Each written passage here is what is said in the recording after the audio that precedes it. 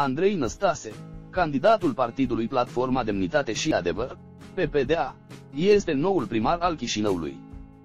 El devansându-le în turul al doilea al alegerilor locale parțiale pe candidatul socialiștilor, Ion Cerban. Conform rezultatelor preliminare anunțate de Comisia Electorală Centrală a Republicii Moldova, după procesarea tuturor proceselor verbale, Andrei Năstase, candidatul partidului Platforma Demnitate și Adevăr, PPDA, a obținut 52, 57 de procente din voturi. Iar Ion Ceban, candidatul Partidului Socialiștilor din Republica Moldova, PSRM, din care provine președintele Igor Dodon 47,43 de procente. Citește și, exclusiv, dezvăluiri incendiare ale jurnalistului care a demascat afacerile lui Dragnea din Brazilia.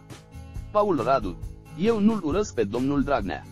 La ora 21.00 s-au închis secțiile de votare.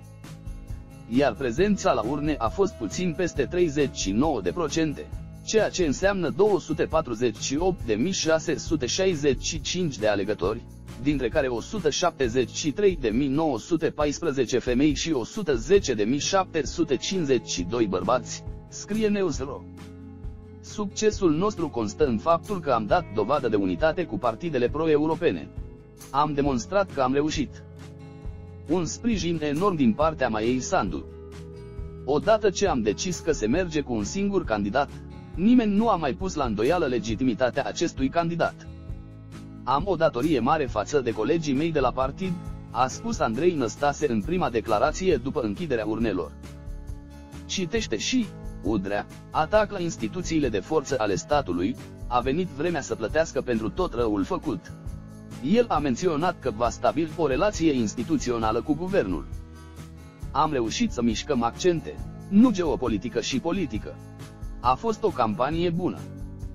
Eu vreau să mulțumesc tuturor chișinăuienilor care au ieșit astăzi la vot. Rezultatul va fi pe măsură. Vreau să mulțumesc echipei mele. Am avut o campanie bună începând cu programul și terminând cu alte aspecte. Așteptăm numărarea voturilor, a declarat și Ion Ceban. Citește și, Comisia Europeană vrea o nouă directivă pentru șoferi, ce vor fi obligați să facă conducătorii auto din statele membre Ceban a anunțat că președintele Republicii Moldova, Igor Dodon, a fost la sediul PSRM unde aștepta rezultatele scrutinului.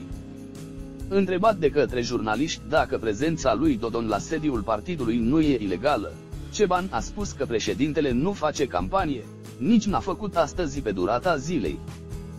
Cel care va fi ales primar în urma scrutinului de duminică va conduce Chișinăul timp de un an, până la alegerile locale la termen.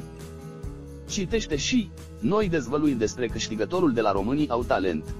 Acuzații de blat alegerile locale anticipate au loc în condițiile în care postul de primar a rămas vacant după ce Dorin Chirtoacă a demisionat în luna februarie.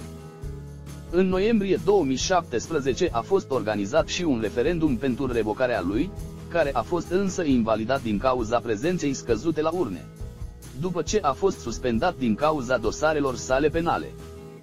Dorin Chirtoacă este acuzat de acte de corupere pasivă în formă agravată, precum și trafic de influență în dosarul parcărilor plătite de la Chișinău. Citește și, care este, de fapt, situația financiară a lui Emil Rengle și ce va face cu 130.000 de euro.